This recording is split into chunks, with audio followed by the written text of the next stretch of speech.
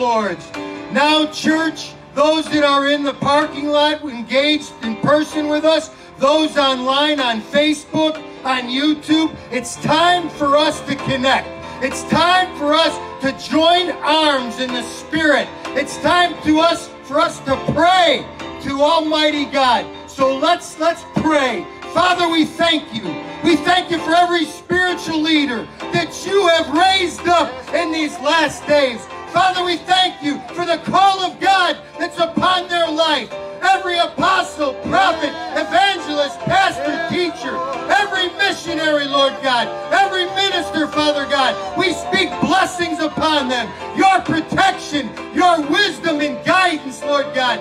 Bless their families, I pray. Bless their spouses, children, grandchildren, in the name of Jesus. We ask your anointing get even greater upon them that the word of the Lord, as it's preached, it will be like fire. It will be fire, and it will reach the lost and reach the church and change us, Father God. We pray for our spiritual father and mother, Apostle and Pastor Joni.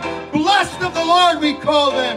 Healed and whole, strong in you, and even greater, Lord God, as you raise them up. Father, bless their children, bless their grandchildren. Father, and continue to use them in a mighty, mighty way. And Lord, we pray for Encounter Church. We pray for our vision, for fulfillment of the vision of this house. In Jesus' name. And let's right now pray for the United States of America. I want you to share. I want you to comment. I want you to engage. Father, we pray for our nation. Lord, heal our land. Lord, we need your move, a move of your spirit, Lord, across the United States of America. Father, we pray for our states, Lord God. All 50 of them, Father God. Rest upon them. We pray for our region. We pray for Chicago and the Chicagoland area.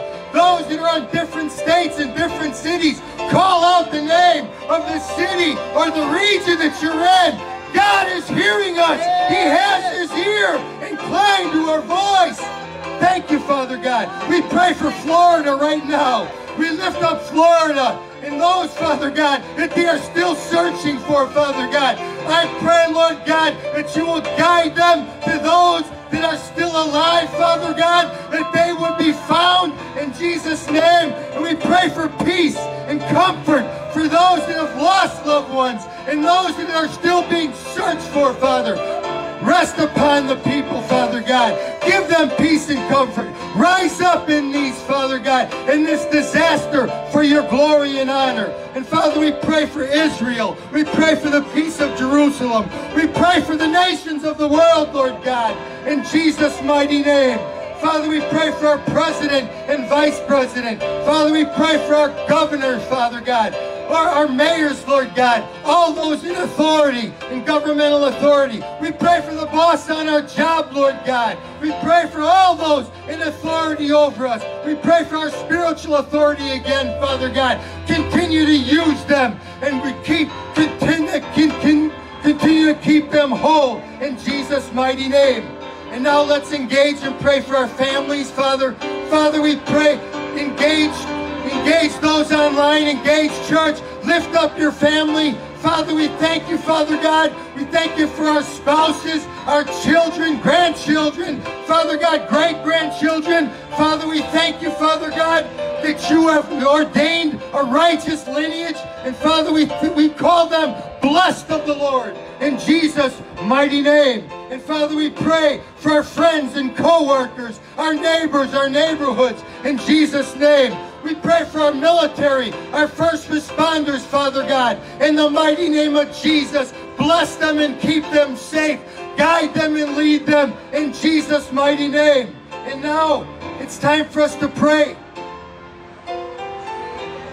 It's, it's time for us to pray for the roster of those in Encounter Church. Those that have written prayer requests have been written. Those that are sending prayer requests over the phone in Jesus' mighty name. Father, I thank you, Father God, for every member of Encounter Church, for every member you're sending in Jesus' name. Bring them, I pray. Connect us even more. Bring forth greater unity in the mighty name of Jesus. Make us one, Lord, as you said you are with the Father. That, Lord, your prayer would be fulfilled and the blessings of God would be commanded upon us. And Father, we pray for those online. We pray for those engaged.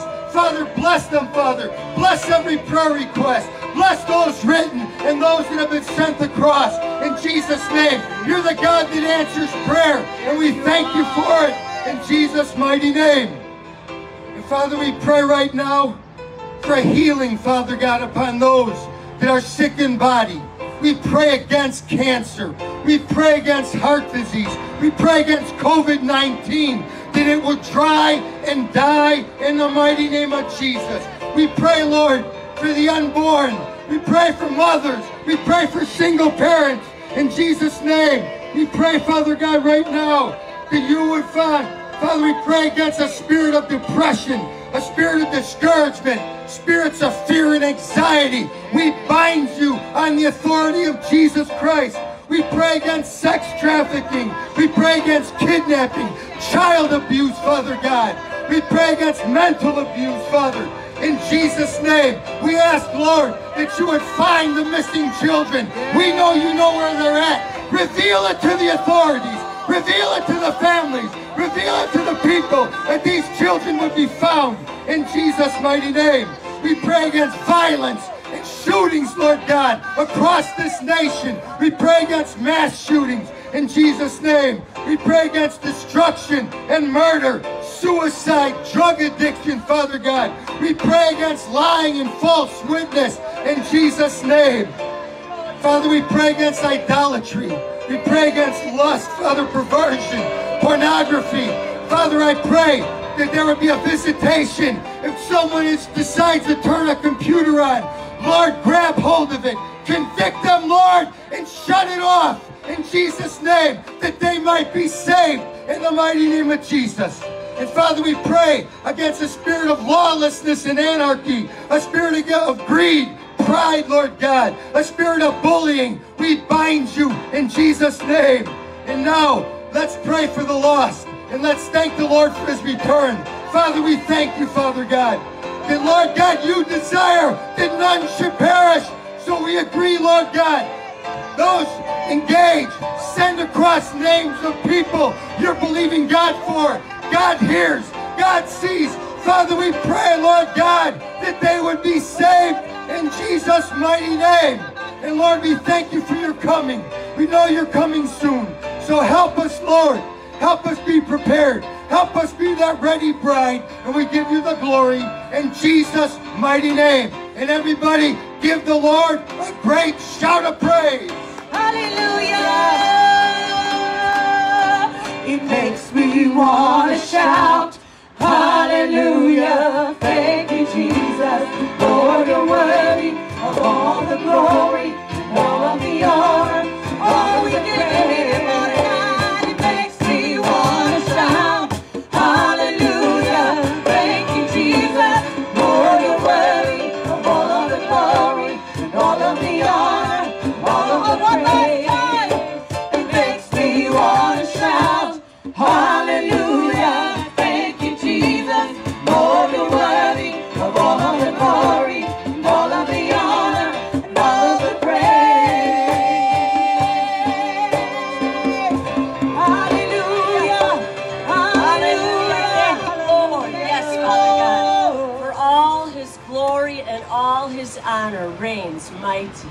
On each and every prayer request that went forth, we thank the Father God for his greatness, his glory, and his goodness. Hallelujah. And thank you, Father God, even for racial reconciliation, Lord. May there be peace in every arena of life, every generation of life. May there be peace that reigns, Father, in Jesus' mighty name. Thank you, Father God. Well, good evening, everybody. I'm so blessed to see you in the parking lot this night and those who are joining us on Facebook. Thank you, Father God, for a great night. And thank you for joining in and being with us tonight. This is awesome. I love it. The children's ministry is taking place right now. You can bring your kids right under the awning and sign them up, or the canopy rather. We just want to say a big God bless you and welcome to all those who are visiting with us, whether you're online visiting or you're in the parking lot with us. We want to say a big God bless you. Thank you for being with us. If you don't have a church home that you could call home, we welcome you home to Encounter Church. Hallelujah. Hallelujah. God bless you, each and every one. We have birthdays that and anniversaries that are coming up for this month of July that's right around the corner, like maybe tomorrow. But we just want to pray blessings over each and every birthday and anniversary. Thank you, Father God, for your touch upon their lives. Thank you, Lord, for a harvest of blessings that encounter each and every birthday. Let every marriage, may every union of matrimony get that much thicker and stronger for your glory and honor. In Jesus' mighty name. And those who agreed said big amen. Amen. Amen. I hear you. I hear you. Thank you, Father God. If you did not receive your Father's Day gift, it's right here. So make sure you come pick one up for yourself, okay? If you're a daddy, we have a gift for you. God bless you. Oh, thank, thank you. Thank you, thank you, thank you. All righty. So let's see, let's see. Today was a really special day because Apostle had the opportunity to miss, minister in India. Is that cool? But through the means of Zoom. And you know how many people he's reached through YouTube and Facebook with Ram Bamboo's uh, Bamboo's line? 20, over 20,000 people got ministered to. Is that incredible? The anointing of God was so strong upon him. The Father God was pouring down the prophetic upon him. Healings, I believe salvations and rededications took place all through the means of a Zoom and Facebook Live. Is that so cool or what? God is so, so cool and so, so good. We are so excited about that. So we know that great things are about to take place. You know, you could you could find that by just going to Ram Bamboo's uh, Facebook. It's even on ours, I believe. And you could uh, just see how it all took place. It was very, very cool. But God had his way in India. And we, India needs our prayer. So it was really precious and very awesome. So we're so grateful for that. Now, next Sunday is 4th of July. Believe it or not, next Sunday is 4th of July. Do you believe it?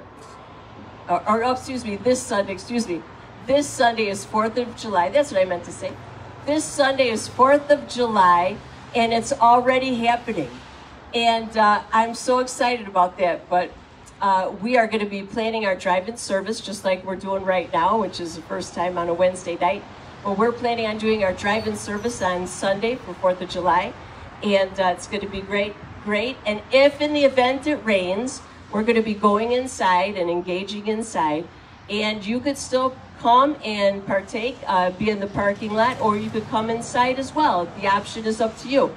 According to CDC, you could wear your mask or you don't have to wear your mask. It's all up to you. So uh, there's no excuse to not partake, no excuse not to come out, right? So that, of course, if we would be inside, then following service, we'll do a drive-through so that way we can see you guys and give our, send our hugs and kisses to you. So it's going to be a great time. Also, make sure uh, you want to keep checking your emails to stay up to speed on that. Alrighty?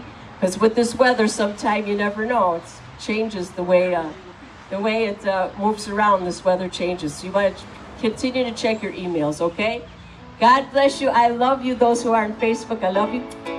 God bless you. Those who are in the parking lot, I love you so much. Bless you. Bless you. Bless you too.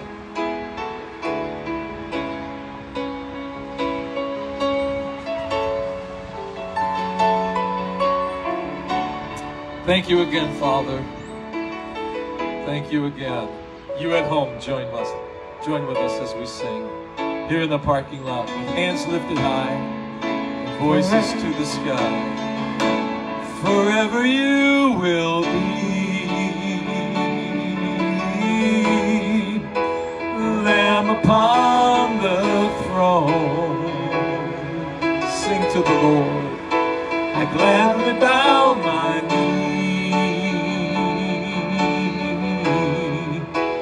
Worship you alone. All over this auditorium, you at home, sing it again. Forever you will be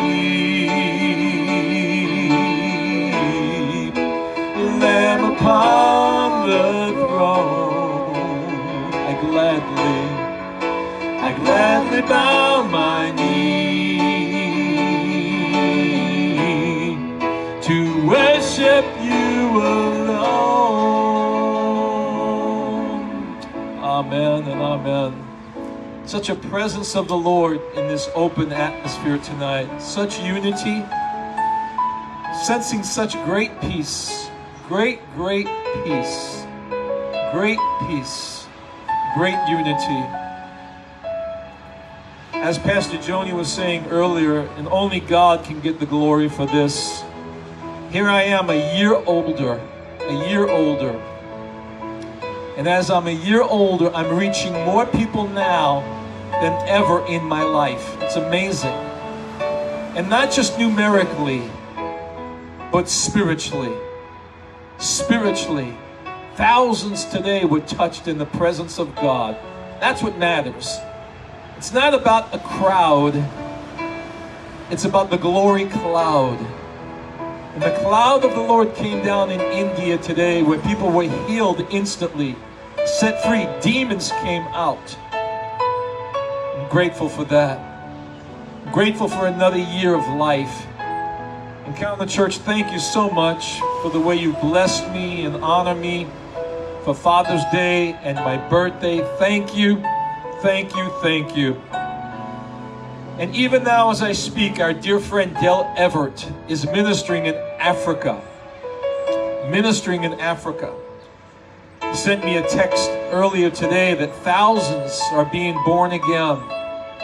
Many, several hundreds are being delivered from demon possession. Thousands are being baptized in the Holy Spirit. Lord, as Joe prayed tonight, we agree for Dale for his crusade that no weapon formed against him shall prosper. Lord, that masses, I hear the word masses, says the Lord, masses, masses. We've got used to hearing the word mask. We've got used to hearing the word mask. But I declare that the masses will know the Lord in Africa and in India and around the world. For the Lord says he'll do a quick work in these last days. In Habakkuk chapter 1, verse 5, he said, Would you even believe it if I told you what I'm about to do? Well, who would have ever thought through Facebook, YouTube, social media that we'd be able to reach masses the way we are? So thank God that each of us, you at home, we here have an opportunity to reach many, many people to the glory of God in the matchless name of Jesus. Amen. Amen. Thank you, Pastor Derek. Thank you, guys.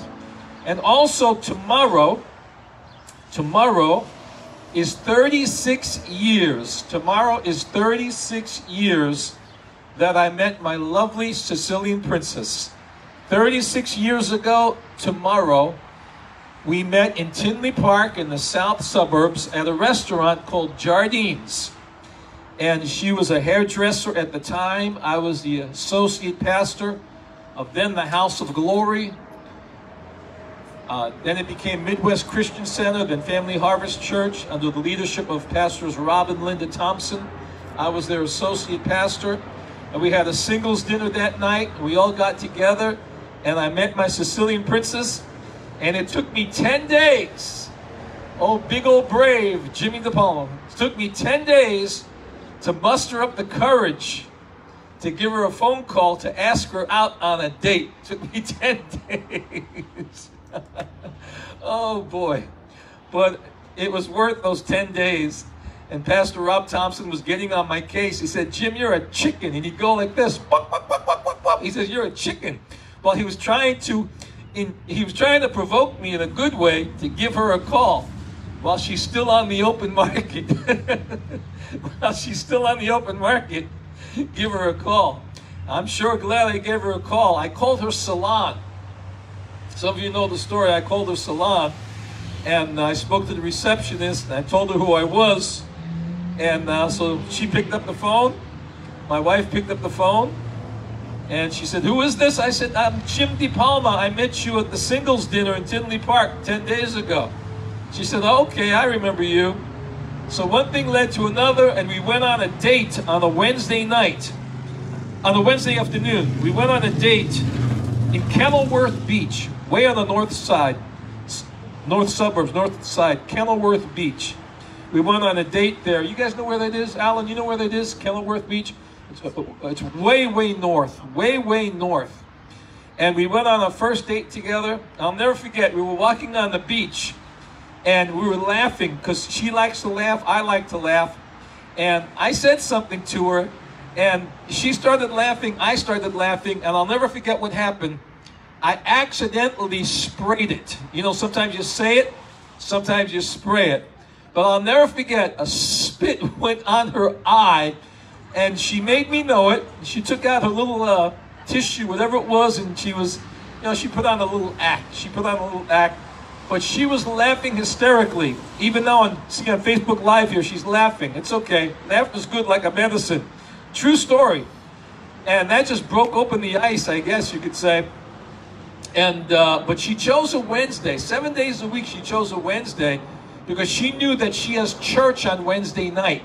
She knew that she has church on Wednesday night, so church was her way out of this date. That if it didn't go well, well, guess what? It did go well. She still went to her church that Wednesday night, but we've been we've been together for 36 years now, married 35 years, and. Uh, during that almost one year of us getting to know each other and getting engaged, she was living near the north side of Chicago, and I was living out in Palos Hills in the south suburbs. So I'm glad for those 36 years come tomorrow that I have my Sicilian princess, my wife for life, and I love her with all of my heart. We love Pastor Joni, right? Somebody comment, we love Pastor Joni. Somebody say out loud, we love Pastor Joni. And look at you all here under this open heaven. Look at you all here in this parking lot. Love you so much. You who are not uh, able to be with us tonight, some of you are out of town, but thank you for tuning in as well. We love you all so much. And I just can't shake off, I just can't shake off this word on God's mercy. And again, I have to tell you again, each and every one of you, thank you so much for blessing me for Father's Day and for my birthday. You guys really, really rock. You really do. I love you too, Mama. I love you too. I got my phone here. I love you too. Yes, we love you. We love you. We love you. We love you. We love you too. Thank you so much, each and every one of you.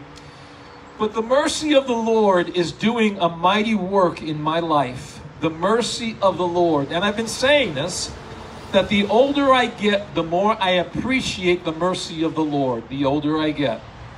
And the older I get, the more I have to depend on God's mercy. You know, when you get older, you need more of God's mercy for strength. You need his you need his mercy for how to handle your children, your grandchildren. You need to understand the mercy of the Lord, his compassion and forgiveness shown toward us even when we deserve punishment.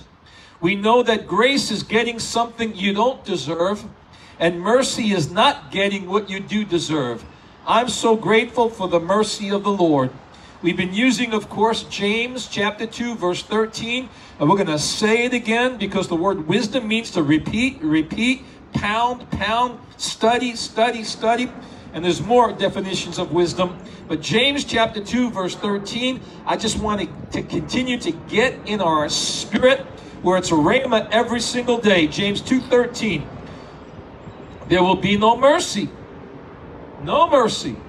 Talking to New Covenant people, believers in the Lord, New Testament church like us. There will be no mercy to those who show no mercy. But if we have been merciful, then God's mercy toward us will prevail over us rather than his judgment. Mm.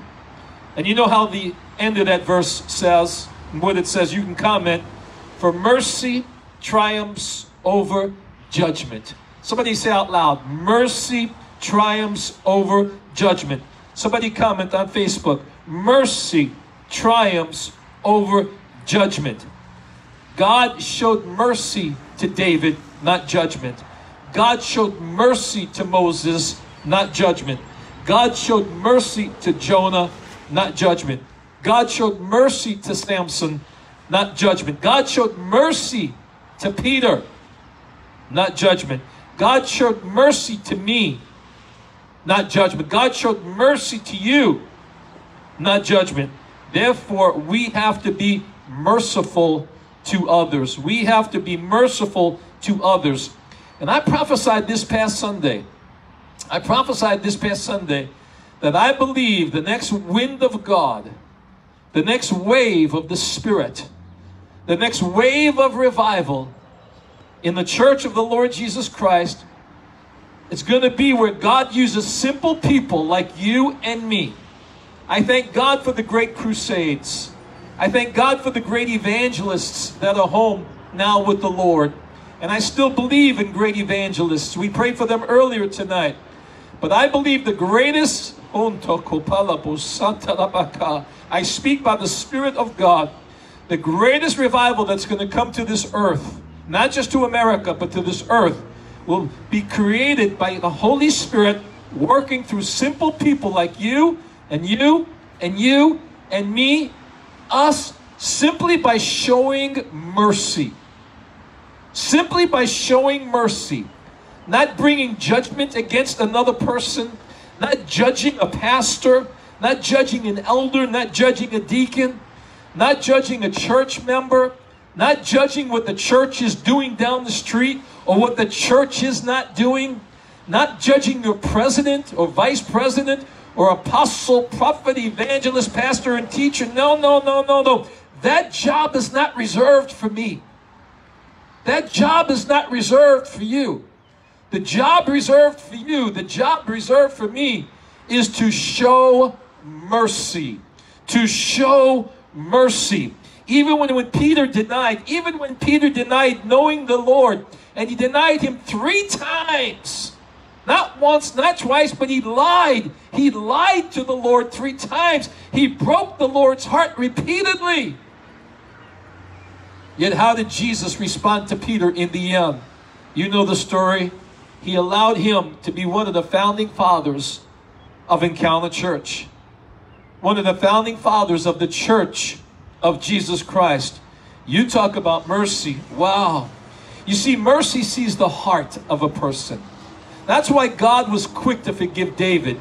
You know Psalm 51. Patricia, I know it's one of your favorite chapters in the Bible, Psalm 51. I love Psalm 51. After David fell, after David fell, how he responded to God. You see, folks, after someone falls, God is watching to see how we are going to respond to that person. After we fall, God will see how we respond to ourselves. But in Psalm 51, I'm not going to read it. Most of you know it. David cried out and he said, Lord, create in me a clean heart, O God. Create in me a clean heart, O God. You see, merciful people, I believe, have a heart transformation that God sees. Where sometimes man sees the outward appearance, God sees the heart. Man sees how David fell, God sees how he could have been lifted up. And we are to lift up each other. And David cried out, Lord, Take not, take not thy Holy Spirit from me. Oh, church, where would encounter be without the Holy Spirit? Where would you be, Sherry? Where would you be, Sherry, without the Holy Spirit? We're under this open heaven tonight. We love it. And there's fireworks going on. I told you Sunday there'd be fireworks in the house today. And there's fireworks, spiritual fireworks as well. Thank you, Lord. But like David cried out to the Lord in Psalm 51 when he said, Take not thy Holy Spirit from me. I tell you what, church, I don't know where, well, I do know where I'd be, where I would be without the Holy Spirit. You at home, where would you be without the Holy Spirit? Where would you be without the Holy Spirit? Comment. Somebody comment. Where would you be without the Holy Spirit? Mm-hmm. You know, this is our Facebook Live service, yet it's our Facebook Drive service. Drive in, that is. So keep engaging. However you engage, just stay engaged. But David cried out, Take not thy Holy Spirit from me. Where would we be without the Holy Spirit? Yeah, where would we be without the Holy Spirit and his intervention? And God looked at David's heart. God looks at man's heart. People look at the outward appearance. God looks at the heart. That's why some people can do 90, listen to this. Some people can do 99% good and 1% not good. And what does human nature do? It focuses on that 1% and it forgets the 99. We're not to be that way. I'm not saying you're that way. I'm saying we're not to be that way. Remember James 2:13. There will be no mercy shown to those who show no mercy. And you know the rest of the verse. We've been sharing it. So mercy sees the heart. Somebody comment, mercy sees the heart. We want to use God's mercy, not abuse his mercy. In other words, mercy is not a license for injustice. Mercy is not a license for injustice. Now remember, I've shared with you Proverbs 24 16 that a righteous man may fall seven times. A righteous man or woman may fall seven times. Hear this. But the Lord will lift him up. The Lord will lift him up. Why? Because she's so righteous? Because he's so righteous? No. It's important to be righteous. But outside God's righteousness, our righteousness is as filthy rags. Outside of God's righteousness, our righteousness is as filthy rags. So we understand that when a righteous person falls, the Lord picks him up. It could be seven times, 14, 21, 28. You do the math on that. But the Lord will pick him up, not because of him being righteous, although we need to be, but because God is so merciful. And God's been so merciful to Jim DePalma.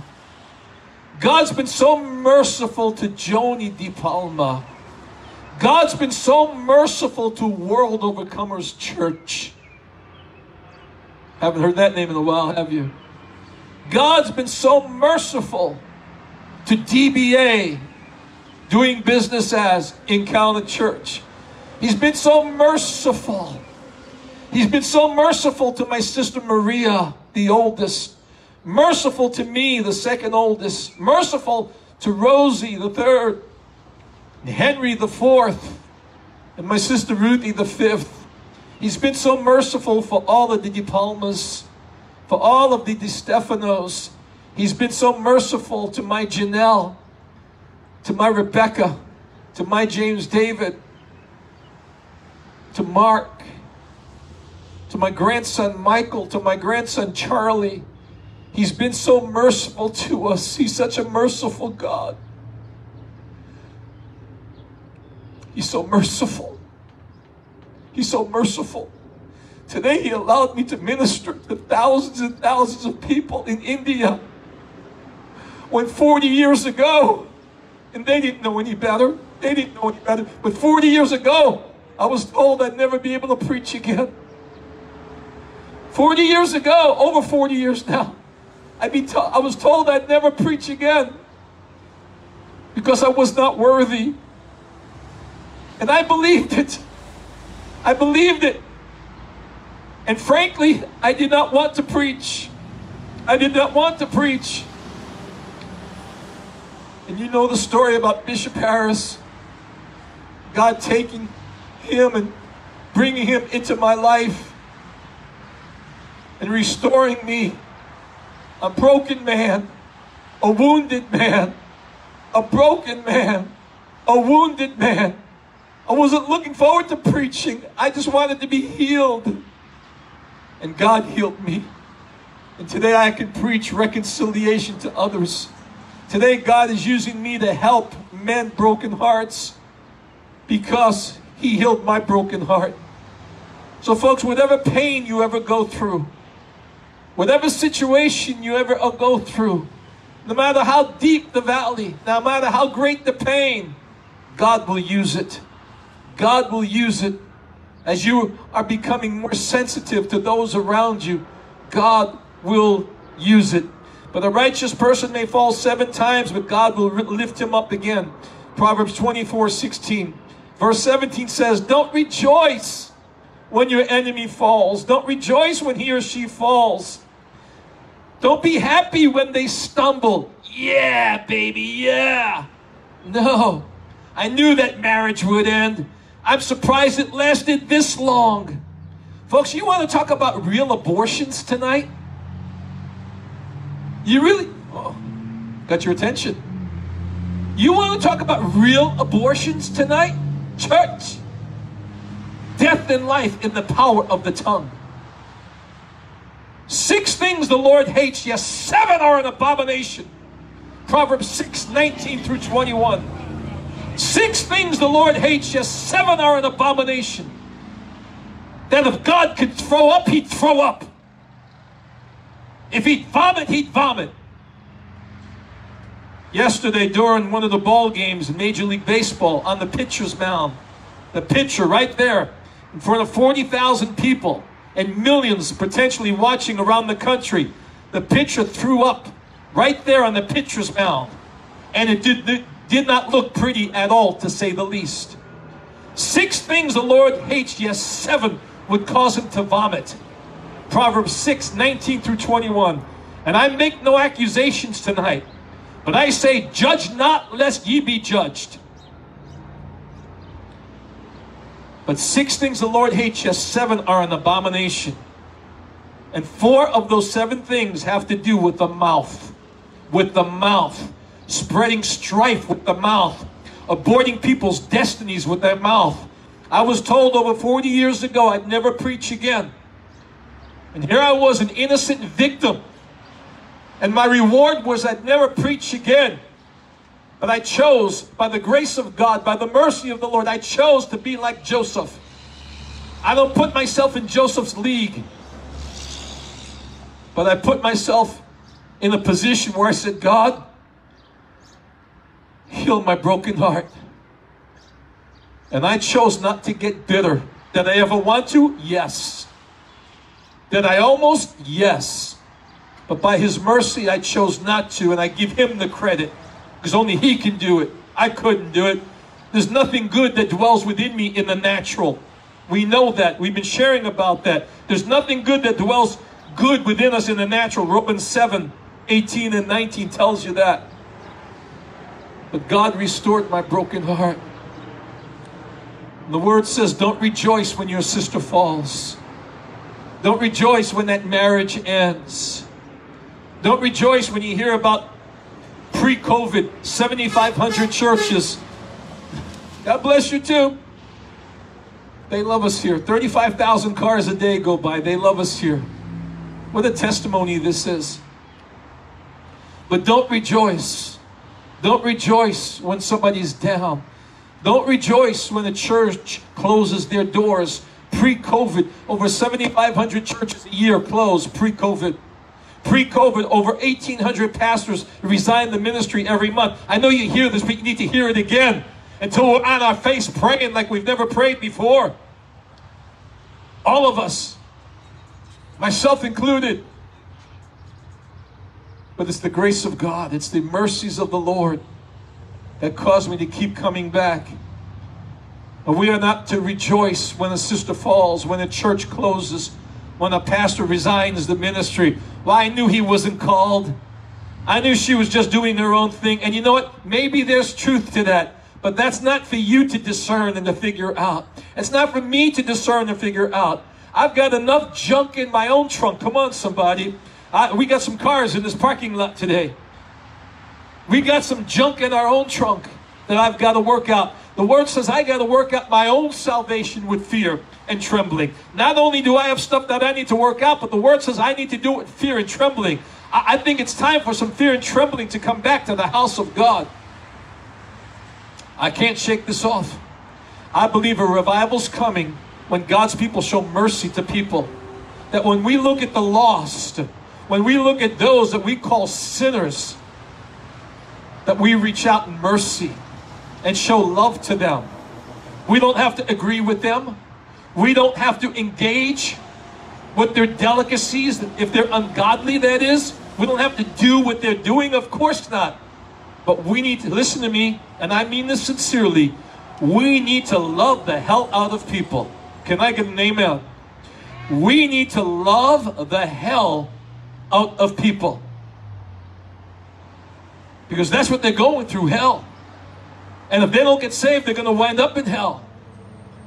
But through his mercy, we're not consumed. Lamentations 3 22 and 23. By his mercies, we're not consumed. His mercies are new every morning. The steadfast love of the Lord never ceases. But it's not for us to judge why somebody passed away. I was just told just on Sunday, on Sunday I was told that some of you remember Dr. Demanda, chiropractor. I was told second hand, third hand, I was told that he just passed away. Young man, young man. I remember him. He was a dear man. He was a sweet man. But the precious family, precious family. Some of you know who he was. He used to play the saxophone. He was a dear man. He was a doctor. He just passed away just a few days ago. Are we to show mercy or are we to bring judgment? You know the answer. Facebook Live, tell me, what are we supposed to do? Come on, comment. What are we supposed to do? People here in the parking lot are engaging. We want you to engage with us too. And those of you that couldn't be here tonight, we, we, we thank you for tuning in tonight. But don't you get comfortable being at home. Hear me. Don't you get comfortable being at home. Comfort is a spiritual disease that will rob you from your inheritance. Comfort is a spiritual disease that will rob you from your inheritance. I'm not talking about the comforter and the comfort of the Holy Spirit. You know what I'm talking about. Be where God would have you be, and you will have what God says you can have. If that's word from one, if that word is for one person today, praise the Lord. Because I love you. Because when you're in position, God will change your condition. But for some of us, for some of us after 15 months, it's time to get out. I'm telling you, it's time to get out. Come on, somebody. If you can go to Jewel, if you can go to Capulos, you can come to the house of the Lord. The Bible doesn't say I was glad when they said, let us come to Postamia. The Bible doesn't say I was glad when they said, let us come to Jewel. Bible says I was glad when they said, let us come to the house of the Lord. Some of us have gotten so used to making just Facebook comments thinking I'm okay. I'm included. Honey, remember there are 10 virgins. Virgins. Five were wise and five were foolish. Five went up and five stayed behind. Get in position. Not just your body, but your spirit and soul. The Bible says as you see the evil day approaching, Hebrews 10, 24, 25, as you see the evil day approaching, come together more and more and more. Some could not, but others would not. The Bible says, go into the highways and hedges and compel them to come in. We shouldn't be compelling the church. The church should be compelling the world. But we got to do it in the mercies of the Lord. Because I believe there's a revival coming for the church. That they're going to extend mercy and not judgment. A righteous man, woman of God may fall seven times, but the Lord will pick him up. But again, Proverbs 24, 17 says, Don't rejoice when your enemy falls. Don't be glad when he stumbles. Verse 18 says of Proverbs 24, For if you do so, the Lord will be displeased. He'll become angry. And he'll remove his favor from our lives. We need God's favor. We need God's favor. Let me give you a little bit more tonight. Ephesians chapter 2, you've heard this before, but you know, we're just going to keep saying it and saying it and saying it. We love you all so much. Ephesians chapter 2, verse 4, but God is rich. Somebody comment, God is rich. God is rich in mercy. God, I know some people that want to be rich financially.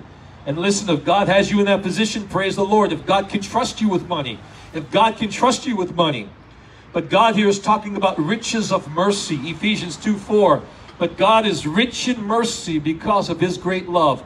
God is rich in mercy. Somebody comment, God is rich in mercy. He's rich in mercy. He sure is. He sure is. He's rich in mercy. Titus, Titus, Titus, chapter 3, verse 4 and 5. In fact, hold on one second. Yes, Lord, I will do that. I will say that, Lord, and I will do that. Everyone stretch your hands toward me. Come on, I can see you at home. I can see you at home. I feel you. Stretch your hands toward me at home. In the parking lot, stretch your hands toward me. Father, right now we pray for Dr. Demanda's family. We pray for Cindy, Lord, precious Cindy. We pray for the children. We pray that you comfort those that mourn. Touch them now, we pray, this Demanda family, Lord. Father, for their business, Lord, may your will be done regarding what takes place there. But Father, far more than business, we pray for their family, God, that you would comfort them now. And Lord, all those hurting and grieving right now, those in Miami, those in every city, state, and region, comfort your people, we pray, in Jesus' name. And everyone said, Amen. So God is rich in mercy. He's rich. Somebody say he's rich in mercy. Let me hear. He's rich in mercy. He's rich in mercy. There you go. But Titus 3, 4 and 5. Titus 3, 4 and 5. But when the kindness and the love of God appeared, and thank God it has appeared more than once. But when the kindness and love of God appeared, not by our own works, but according to his mercy, he saved us through the power of the Holy Spirit. According to his mercy, he saved us through the Holy Spirit. Like I was saying earlier, when David cried out in Psalm 51, Take not thy Holy Spirit from me. Take not thy Holy Spirit from me. Thank God for his mercies. Thank God for his mercies that save us through the power of the Holy Spirit. But then in 1 Peter chapter 1, verse 3, 1 Peter 1 3 says, Bless God the Father.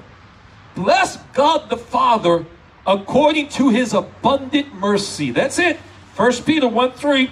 Bless God the Father according to his abundant mercy. So we see in Ephesians 2 4, he's rich in mercy. We see in 1 Peter 1 3 that he has an abundance of mercy. So, folks, listen to me. There's no shortage of God's mercy. So, no matter how many times you have fallen, no matter how many, hear me, no matter how many mistakes you've made, no matter how many mistakes you've made, no matter how many mistake, mistakes I've made, He's rich in mercy. He's abundant in mercy. And again, that's not an excuse to be callous. No but to receive through humility the mercy of the Lord so that we can extend it to others as well. And then this past Sunday, I was talking to you about multi generational mercy. That's a word from the Lord multi generational mercy. Psalm 100, verse 5. Psalm 100, verse 5. For the Lord is good, and his mercy is everlasting to all generations. For the Lord is good I love this. Psalm 100, verse 5. For the Lord is good, and his mercy, his mercy, his mercy is everlasting to all generations. This will make you shout. Want to talk about fireworks? Want to talk about fireworks? This means that Doc Demanda is with the Lord, but his mercies will remain with his wife Cindy. His mercies will remain on his beautiful children on his sons and daughters for all generations. You say, but my kids are messed up. Have you looked at yourself lately? well, oh, thank God we are what we are by the mercy and the grace of God. But you hear what I'm saying? Well, my kids aren't exactly where they're supposed to be. Well, where's your mind right now? Is it where it's supposed to be? Where's my mind right now? We'll include all of us here. You get it. The word of the Lord says that He's going to extend His mercies, mercies, mercies, whether you see your family or not. Just proclaim God's mercies upon them from generation to generation to generation. That's enough to get you excited. It's enough to say, you know what? God's got my family's back. I want to close tonight just giving you a couple of examples here, maybe just two or three, we'll see here. But just a couple or two or three examples here of more examples of mercy triumphing over judgment. Of course, I've given you some. I've given you some in the previous weeks, which I've named some of them tonight. I named some of them tonight. But how about Jesus and the woman at the well? Let's just take a minute or two and think about this. Beautiful night. Beautiful night. How about Jesus and the woman at the well in John chapter 4? We're not going to read it, but I'm just going to share with you quickly. Now, check this out because somebody needs to hear this. Somebody really, really, really needs to hear this. There's this woman. She would go at a certain time of day to a certain well. And the reason why she would go to this certain well at a certain time of day, it was because she knew I needed to go when it was the hottest.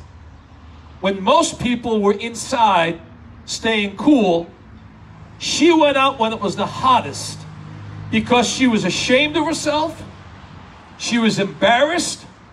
She had been humiliated by the church, by the outsiders. So she did not want anyone to see her. Oh, I can prophesy right now.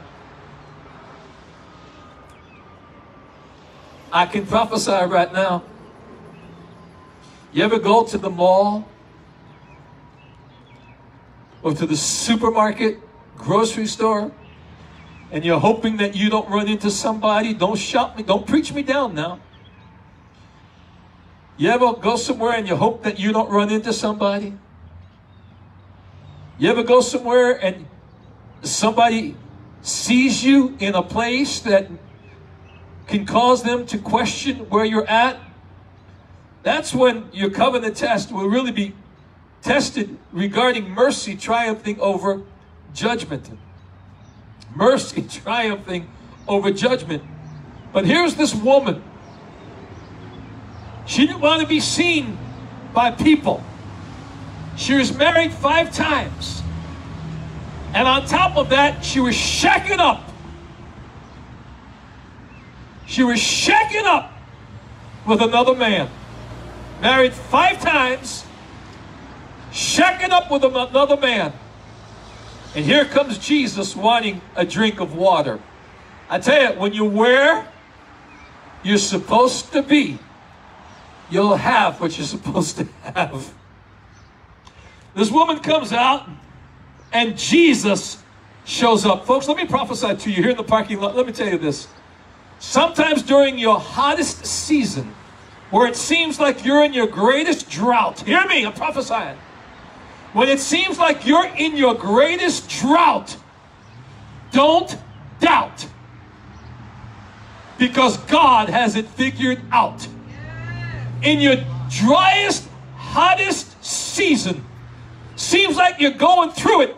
The psalmist said, If I make my bed in hell, thou art there. Psalm 139. If it seems like you're in your most driest, diest season, Jesus will show up even greater. He'll show up even greater. You know, by the way, this is good that I get to see you here tonight. Because sometimes I wonder when I'm preaching what you're doing at home. I mean, I know you're listening, I know you're engaging, but it's always good to see you in person. I love it so much. And you at home, love you too. But here's this woman. She went out at a time of day when it was the hottest, and she runs into Jesus. She's married five times, currently living with another man she's not married to. She was ashamed, she was embarrassed to go to the well, so she went at a time of day that hopefully nobody would see her. She told Jesus that she had no husband. And Jesus said, You have said right. You have no husband. You are right. But Jesus said, But you've had five husbands. Jesus said to her, Jesus called her out. Sometimes mercy will call you out. Listen to this. Sometimes mercy will call you out and tell you the truth in love. You'll know the truth, and the truth will set you free. Just don't speak in a judgmental fashion. Speak with mercy, seasoned with grace. So Jesus said, You've been married five times. Listen to this. I'm married five times, shacking up with another man.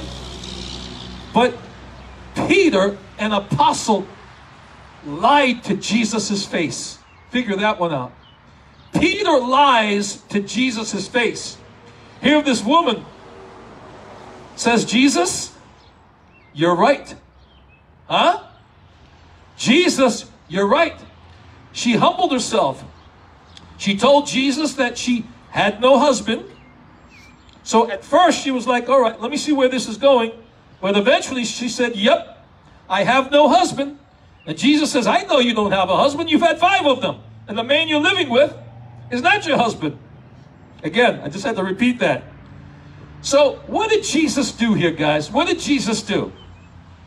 What did Jesus say? How did Jesus handle a woman who was married five times and currently living with another man? Well, I know what some Republicans would do. I found that out during the presidential election. I found I know what some Democrats Democrats would do. I found out during the presidential election. But the old bracelet, WWJD, what would Jesus do? What would Jimmy do? What would Amy do? What would Arlene do? What would I do? What would Joni do?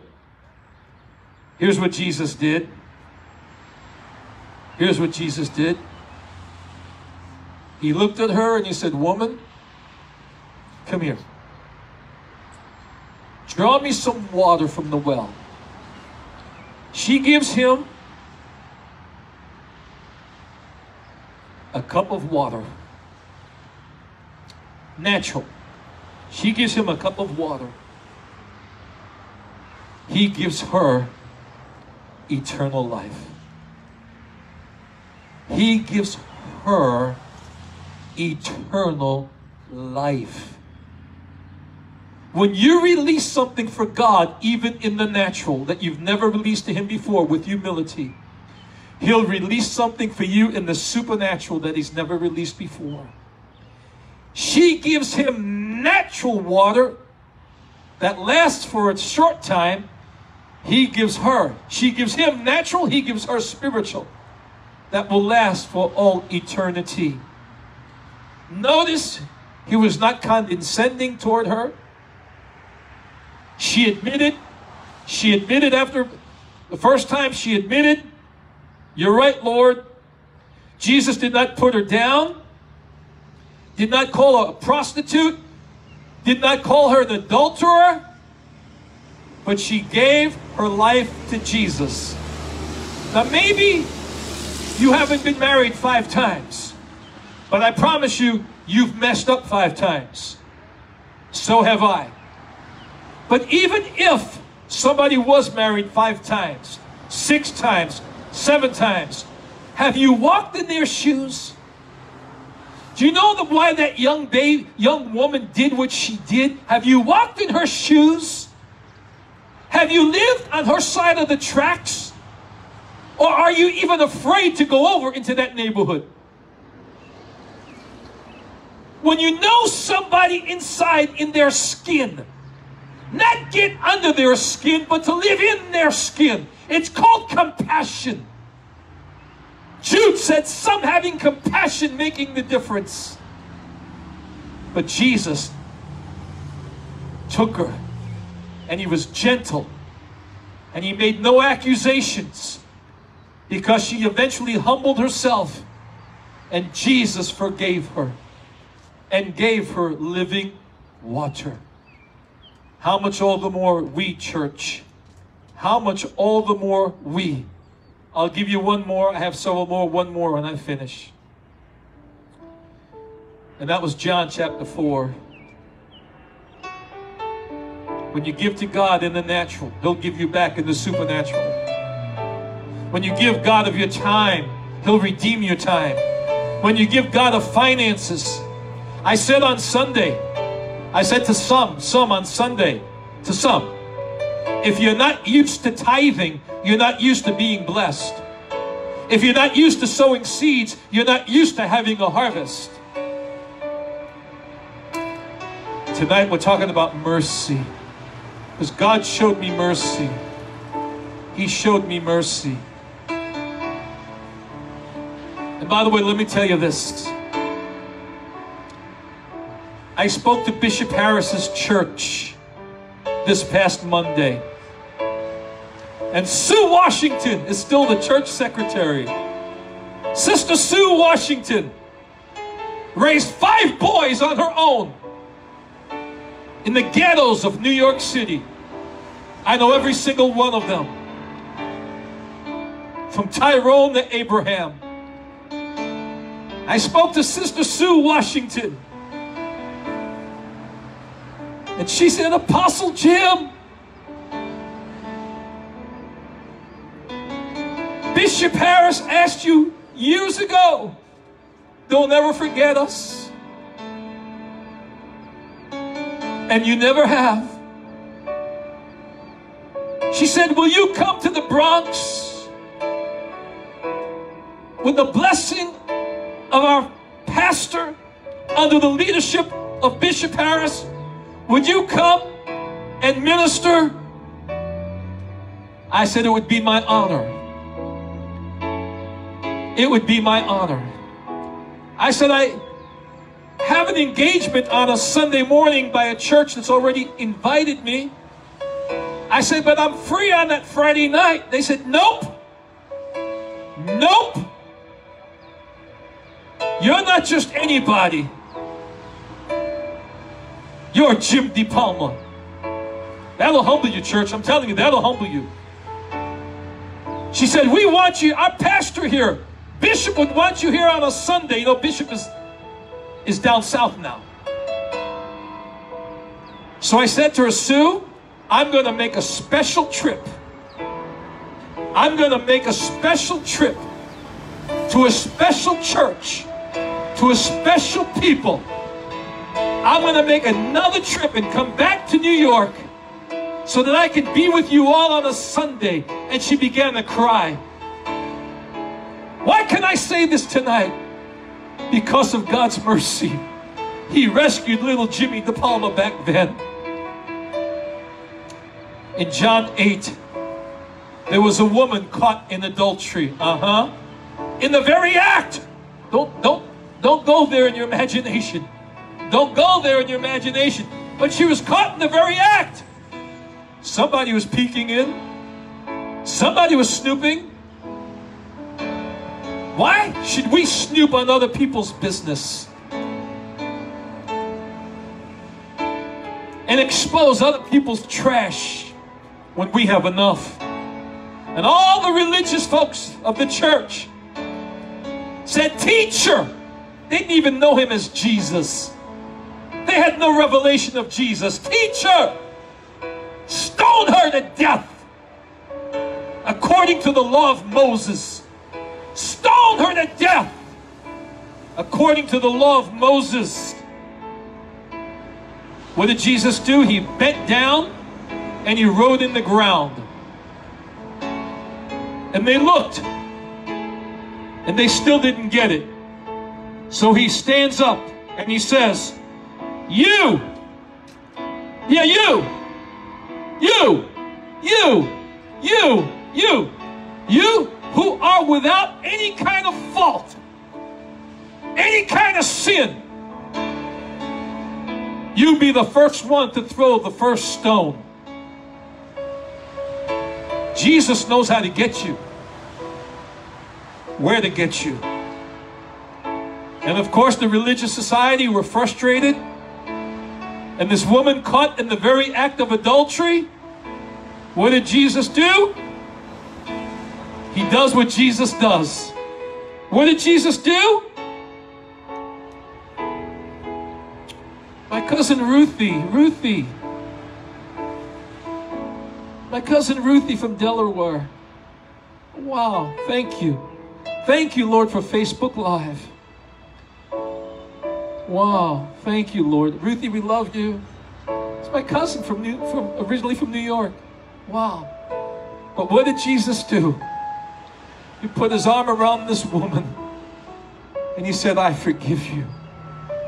Folks, I really believe we're getting this revelation on mercy, don't you? I believe we're getting this revelation on mercy. Father, tonight I've spoken your word. And Lord, I pray that you continue to reveal your mercy to me.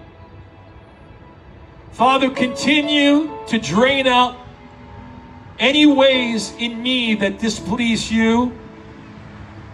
That, Lord, we'd let you be the judge. We'd let you be the judge. Lori, listen, Lori.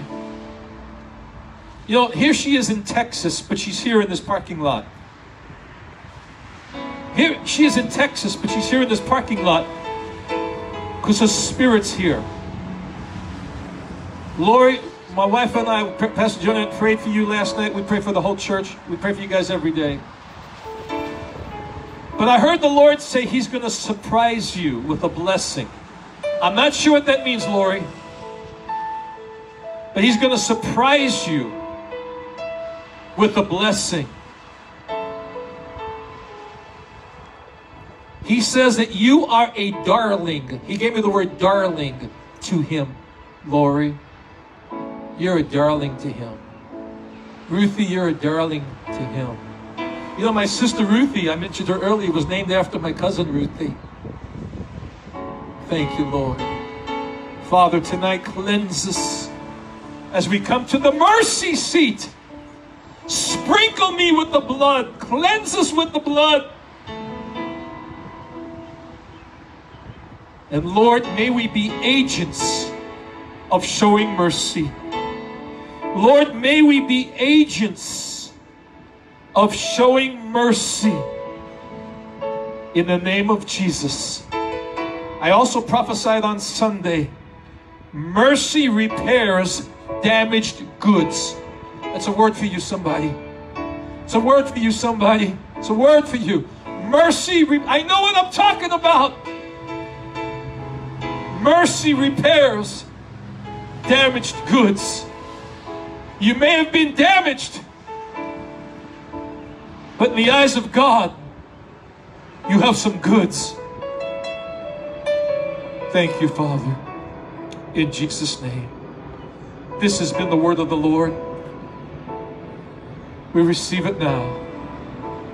Many of you are in your cars. Some of you are, have your lounge chairs out. So what we're going to do is we're going to give the Lord a shout of praise with your voice and with your horn. We're going to give him a high, healthy, heavenly, holy shout and a honk at the same time. Let's do it. One, two, three.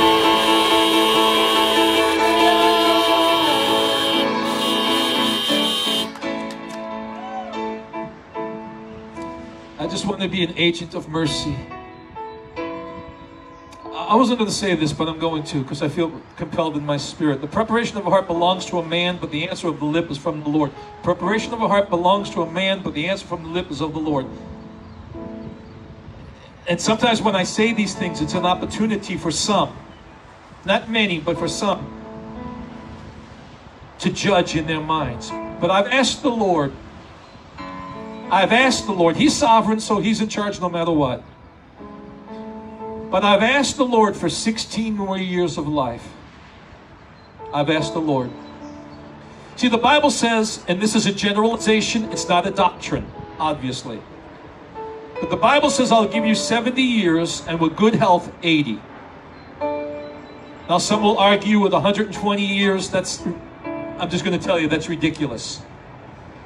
It's not impossible, but it's ridiculous. That was pre flood. Pre flood. Anyway.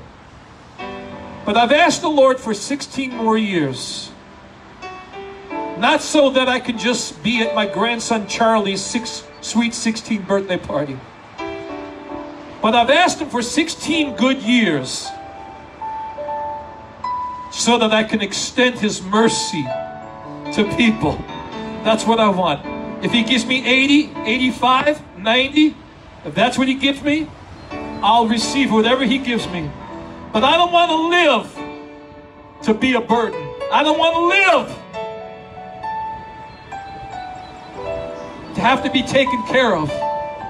And sometimes there's a need for that. I want to live to give and sow and love. And if God takes me home sooner, may his perfect plan be done. Paul said, I win either way. But I'm asking for more of his mercies the older I get. And that's my point. My point is not 80 or 70 or 60 years. My point is, so long as I'm alive and breathing, may I be used to show mercy and love. In Jesus' name, amen.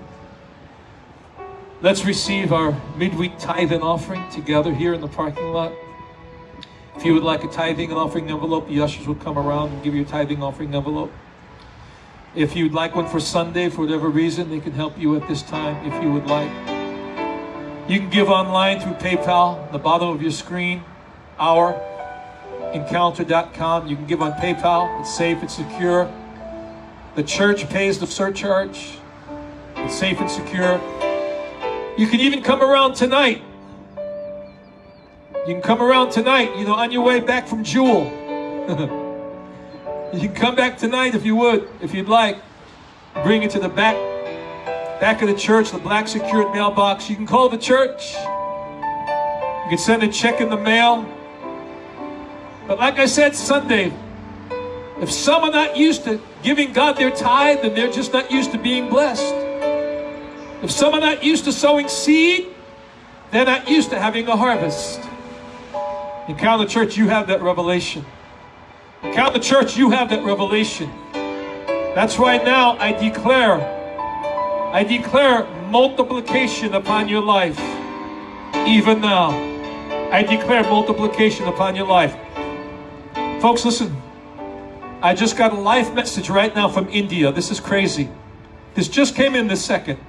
This second. A live message from India, Ram Babu. He says, Jim, we minister to thousands every week in India with our crusades. But what happened this morning is unparalleled. This is coming in from India, from Ram Babu, Rambo, a mighty apostle. He's messaging me right now. Rambo, it's His mercy. Encounter, it's His mercy. So we pray tonight that you have a tremendous Thursday, fabulous Friday, sensational Saturday, Super Sunday, 4th of July, red, white, and blue. Till we meet again, God bless each and every one. And by the way, the children had an awesome time tonight, the youth, the young adults. We call you all blessed in Jesus' name. Let's sign off tonight by one more time giving them a high, heavenly, holy honk to the glory of God. Come on, church.